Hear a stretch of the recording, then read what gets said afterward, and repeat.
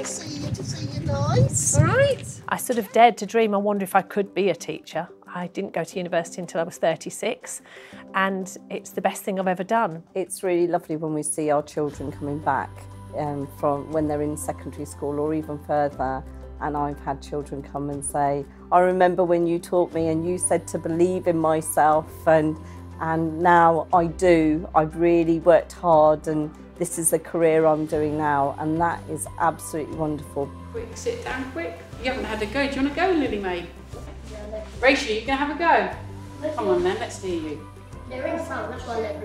Having the passion around the school I think was always key and it was very much that I think that when you are invested in something and something then invests back in you it gives you a kind of a partnership a cohesion between the two being the school and yourself that that they want you to do well so you want to do well for them I want to create an outstanding community um, with an outstanding school at its heart. That's, that's what I'm aiming for and that's what I think if you ask people that work, I'm working with, that um, they can see that drive in me and they, they want to be part of that too.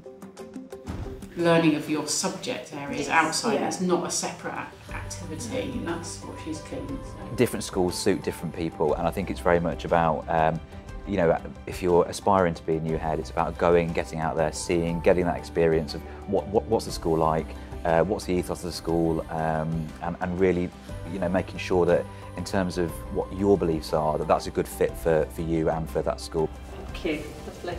I'm really pleased we've got a family coming from Albania, so we're going to need another flag for the display. In my school alone, we have children from 46 different countries.